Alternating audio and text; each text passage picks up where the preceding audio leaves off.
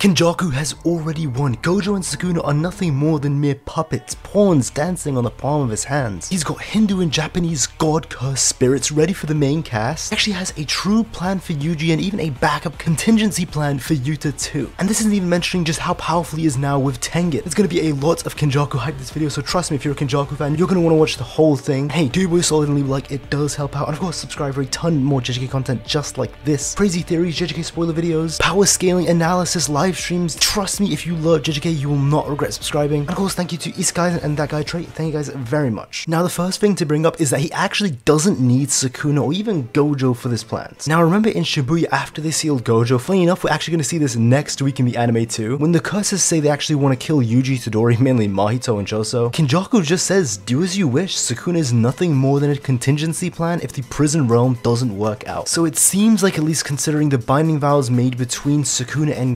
Kenjaku, it is pretty one way and it's heavily favoring Kenjaku since Kenjaku doesn't need to protect Sukuna or he doesn't need to make sure he lives until a certain point, whereas vice versa, remember Sukuna just couldn't let Gojo kill Kenjaku because of a binding vow. Kenjaku had him on a tight leash, he had it very strongly wrapped around Sukuna's neck, where Sukuna just couldn't let him die, which is interesting because it implies that Kenjaku actually made the binding vow of Sukuna from a position of power. He had all the advantages. And here's the second thing I want to bring up. When he was fighting Choso, Choso asked him, tell me, what do you want from Yuji? You have something else in mind, unlike us who you've neglected for 150 years. What are you plotting? And responds, actually he doesn't have a specific role. You could say being a vessel is his role and that's already in place. Yuji Itadori is like a fire signaling the start. As long as he and Sukuna are alive, the chain of curses will never end. He is the eye of the storm of a new age. Now this is pretty interesting since it's implying that Yuji's only purpose of being alive or only reason being made is just to be a vessel for Sukuna. And this actually does go back all the way when Yuji and Megumi actually talking with Hakari and they found it weird how Yuji was already considered a player. Since the fact that he was considered a player because he had Sukuna, that would only make sense had he made it after being contracted from Kenjaku, which is why Megumi found it insanely weird since when Megumi remembers, he even says, I saw you eat the finger of your own will, Kenjaku didn't make you eat it, so why are you counted as a player? And then Megumi says, we'll discuss later, and of course they never actually do, so we never get an answer to that, but right then and there, Yuji eating the finger is something that Kenjaku plotted or he was the cause of Yuji eating it. He must have just set things up from the very beginning, and I wouldn't be surprised if you remember the guy and the girl from the occult club, right, where they had the Sukuna finger, it would really not be shocking at all if Kenjaku was somehow the one who actually pushed them to take the finger, or maybe let them know in an offhanded way. And he actually triggered the chain of events that led to Yuji actually consuming the finger. Or this could even be something even deeper than that from when he was a child and he gave birth to him, because remember, he is actually Yuji's mother. But regardless, I just wanted to bring that up since that will be important later on. And the last thing is that the only reason he actually wanted to get rid of Gojo from the beginning was just so that he could make the Culling game happen. The reason he says you just have to go is because had Gojo been around when the Culling game was actually made, Gojo alone would have ended the Culling game in um, probably a couple hours at best, maybe a day, a half a day or something. Because this man would have just enter a colony, wipe out every single player in under an hour, get hundreds of points, change all the rules, and just make the Culling game null and void.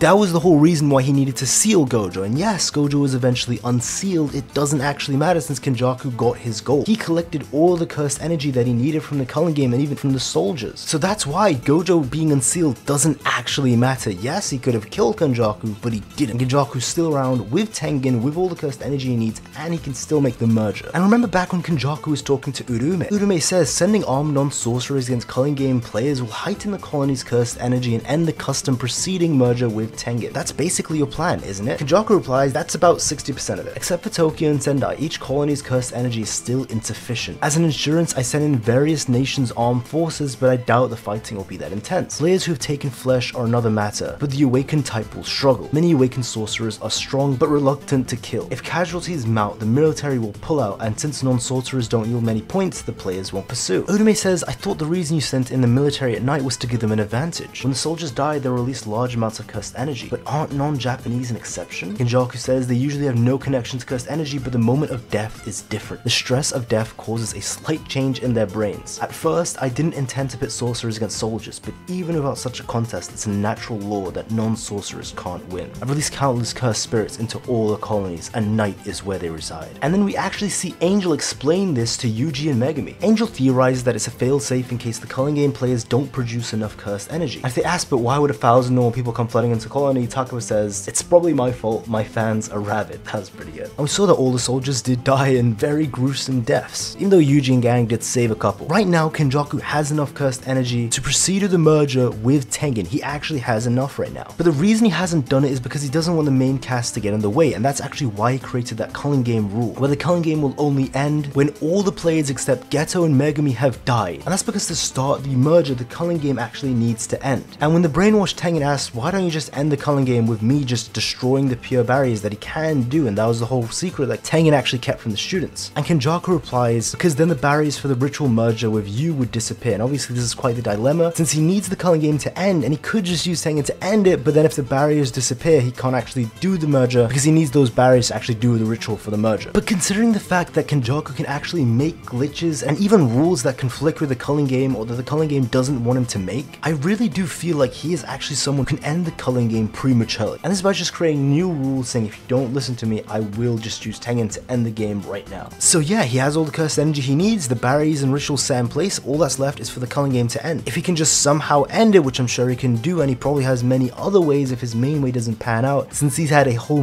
month to prep and plan for contingencies and such, and backup plans. And I mean, this was the guy who actually sealed Gojo with prep time. There's nothing he can't do with prep time. Something as simple as just ending the Culling game in a different way, given the time he has, and given the fact that he has a lot of points, and he has Tengen in his hands. Yeah, I'm sure he has something ready that is just unarguable. Now, what I'm very interested in is the fact that he actually says that the barriers are required for the ritual. He says the ritual for the merger. Basically, what the merger is, is he's actually going to use Tengen and his barriers to basically just fuse everyone, or at least all the humans in Japan. And just a clarification, this can't actually affect all the sorcerers, since there are a lot of people confused saying, how can he even start the merger? Because if he does, wouldn't that mean the main cast all die? No, actually, even if you have a tiny bit of cursed energy and you can control it, you can just simply outright reject the merger. So all the sorcerers are safe, though it's very questionable if Maki's safe, but considering the fact that she has just zero cursed energy, maybe she truly is just safe from the merger, since she is the one that actually lies outside of destiny and cursed energy and all that, so I doubt it could even affect her, just like the sorcerers. However, this doesn't mean that Tengen is actually the vessel for the merger. He's just the one that's combining them all together and using his barriers to actually do this. Since his main body is kind of like all the barriers now, we did see he had a true body, but it is everywhere at the same time now as well. And I do wonder again, the keyword a ritual. What if the ritual is to actually place the merger or the combination of everything into a person? And yes, this is a long time theory that has been around for a very long time. It is that Yuji would actually be the vessel for the merger. Now to go back to what I said in the beginning of the video with what he said to Choso, that he has no plans of Yuji and that if he has anything, it's just that his role is to just be a vessel. But he says it's already in place and that's with Sukuna. But he said that at the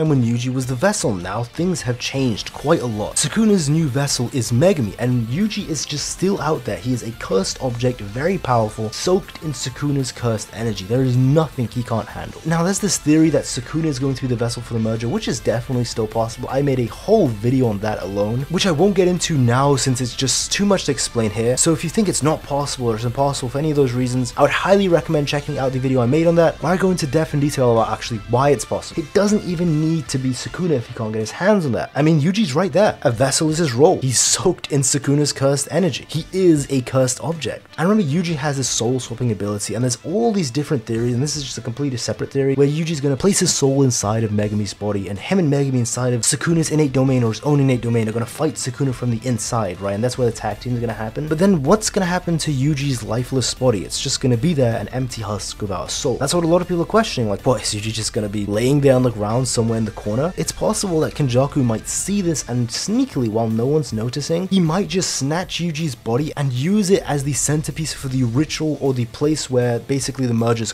all gonna go inside of Yuji's body. And Yuji wouldn't have a soul. Think about it, Yuji is just perfect for this role. Like I said before, he's got the role of a vessel, soaked in Sukuna's cursed energy, he's a cursed object, and he doesn't have a soul now? That's the perfect person to house a merger. I feel like this is one of those theories that's been around for a decent amount of time, but as time is going on and we just see more from the series, like we learned Yuji's a cursed object, we learned that he can potentially swap his soul out. I feel like these just strengthen the theory more and more. And I want to remind everyone as well, Sukuna from the beginning is just nothing more than a mere contingency, which is crazy to say of Sukuna. And I mean, again, he's got him on a leash of his binding vows. It's pretty insane. And even Gojo is someone that I have no doubt who he will deal with. He's probably got plans for, I mean, there we go, Sukuna is the plan to deal with Gojo, like he said himself. The prison realm doesn't work out. His true goal is the merger, and that is far bigger than both of them. Because he is the biggest villain of JJK. And real quick, before we get into the juicy stuff with the god curses, I'm gonna highlight some Kenjaku thoughts from the channel members. Explosive Grape just says, he's the GOAT. True. He's got the Kenjaku emojis too. The Eternal Flame says, EOS, he's going to fight everyone in the cast at once other than Yuji and Megumi who will be fighting Sukuna. And of course, Shao Eternal Flame, he's a goated YouTuber. And yes, I actually think this is true, and I do think the God curses are going to play a role into this. I'm about to touch into that. And for the next comment, just an NSFW warning, so skip like 10 seconds if you don't want to see it. Iki says that Kenjaku is the undisputed strongest backshot taker, and remember Kenjaku did get cream pied all for the sake of his, or actually her at the time, plans, and for the sake of Jujutsu Science. They just took it raw. It is what it is. I gotta respect the dedication to his evil plans. Okay, now as for some juicy theories about some of the curses that he has and what he will throw at the main cast, remember he did have quite an interesting curse when he was fighting Yuki, Ganesha, which is actually a Hindu deity. And he did actually say to Yuki that he got it overseas from an Asian country. Now it's interesting how this is a curse which is not from Japanese gods, right? It's from outside of Japan, it's a Hindu god. When Kenjaku even explains where he got the curse, he's implying that he didn't get it in Japan. He just says an Asian country. Which yes, Japan is an Asian country, but again, in the context, he's implying that it's another country. I want to remind people, Ganesha is a very powerful curse, like super powerful. The only reason Yuki is able to one-shot is because, okay, Yuki is special grade, but also literally its whole ability and curse technique just was unfortunately completely negated and countered by Yuki who can ignore concepts. It was just a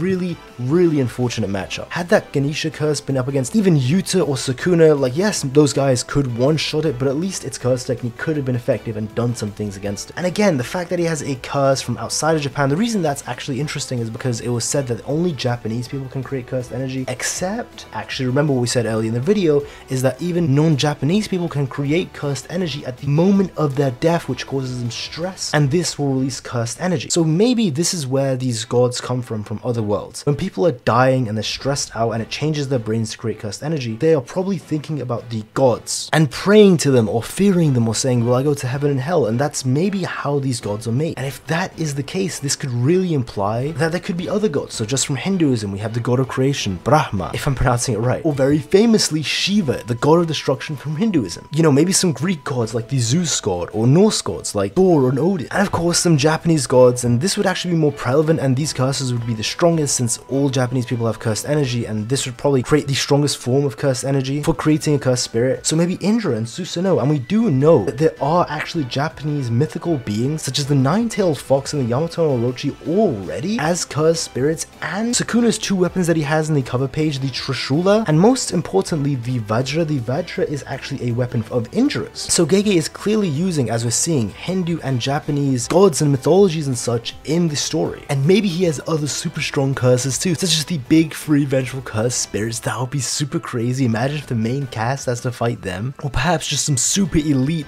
other curse spirits, such as the Death Curse. And this is something that Isekaizen, an honorable member of the channel, actually even asked. Honestly, if there was a Death Curse, and considering that every human on the planet, at the moment of death, it actually causes them to create cursed energy and that comes out of them because they all fear it, that would be the strongest curse we have ever seen. And I mean, seriously, who would be stronger than that? This thing, if it really does exist, might just be stronger than Gojo or Sukuna. And considering how powerful it is, I doubt Kenjaku would even be able to control it if such a thing existed. And there could even just straight up be the Kami curse spirit, right? The Kami vengeful curse, because this was actually a thing in the Nihon Shoki, which is actually the Chronicles of Japan book, which Gege actually read and is where he actually got Sukuna from and even created him from. And in the Nihon Shoki, it actually says that the vengeful curse spirit Kami, just straight up god, was actually the one who killed Emperor Chuai, an emperor in Japan's history. But yeah, whatever insane curses Kenjaku has, it would be really awesome to see. And if he throws them at the main cast, it would be so cool to see each of them individually trying to best these god curses. Whether it's Hindu gods, Japanese gods, Greek, Norse, just regular gods, or even concepts such as deaths, maybe the vengeful free curse spirits. If anyone has them, it's Kenjaku. And remember, he has had a month to prep for this, a month to create contingencies. So he really could have just been traveling Japan or even traveling abroad during this month and collecting the cursed spirits secretly. And as for what I think he's going to do with Yuta, I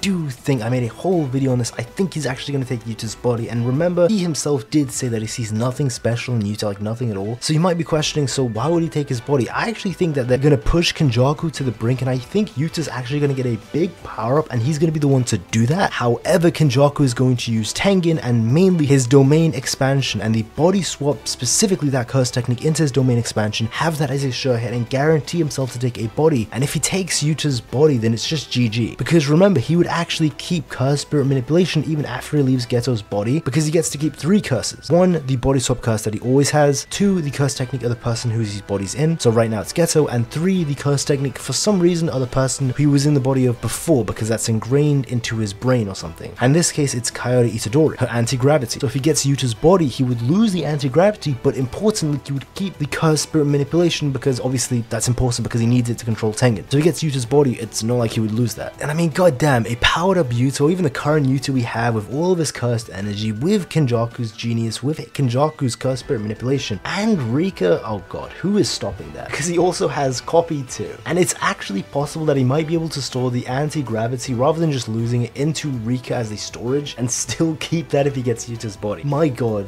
it is just crazy to think. But what do you think Kenjaku will do in the final arc? Let me know your crazy theories in the comments down below and be sure to leave a like if you did enjoy it does help out a lot. If you haven't already subscribed for a ton of JJK content just like this, crazy theories, power scaling, JJK spoiler videos, live streams, trust me if you love Jujutsu Kaisen you will not regret subscribing. And of course thank you to all the channel members as well. Thank you guys very much, it is much appreciated. And that's all, take care and have a nice day.